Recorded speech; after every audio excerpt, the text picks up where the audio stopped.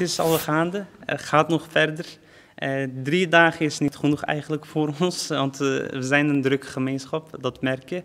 Uh, maar we vieren het gewoon op de uiterste manier. Een opgewekte sfeer bij de Moeradij-moskee in Schiedam. De Ramadan is ten einde en vandaag wordt de tweede dag van het Ramadanfeest gevierd. En dat wordt groots aangepakt. Natuurlijk merken we dat er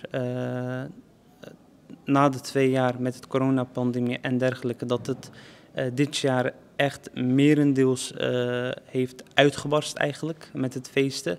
We zagen ook in Schiedam, ook op de straten, dat de families met uh, cadeautjes, met allerlei bloemen bij elkaar op bezoek zijn geweest. En dat ze eigenlijk het Ramadan voluit hebben uitgevierd eigenlijk. Het suikerfeest, eigenlijk noem, noemen we het in het Arabisch Eid al-Fitr. Het suikerfeest komt eigenlijk ook vandaan, is een sunnah van ons profeet wanneer, dus een praktisatie van ons profeet die hij ook heeft gedaan, wanneer hij uit huis ging uh, destijds in de stad Medina, heeft hij toen hij naar het moskee kwam iets lekkers in zijn mond gedaan. Dus een dadel, dat is heel erg uh, lekker en uh, zoetig. En dat is eigenlijk ook van vandaag vasten we niet. Het is niet toegestaan om te vasten op de eerste dag van het Ramadanfeest. Vanavond een heel goede dag. Wij zijn Ramadan klaar. En uh, vandaag, gisteren suikerfeest begonnen, vijf dagen. En uh, hier normaal drie dagen. Maar heel goed, supergoed. En iedereen blij, gelukkig.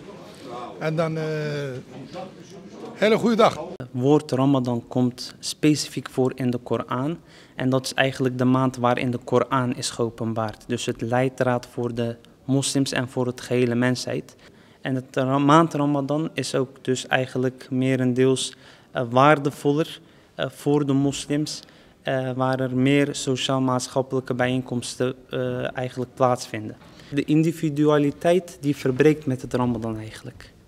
Dus de ouderen worden bezocht, de kinderen worden beloond met cadeautjes en dergelijke. Dus het is merendeels iets wat je eigenlijk mist. Het is nu een feest voor ons, maar aan de ene kant hebben we ook een verdriet dat we het eigenlijk ook afsluiten.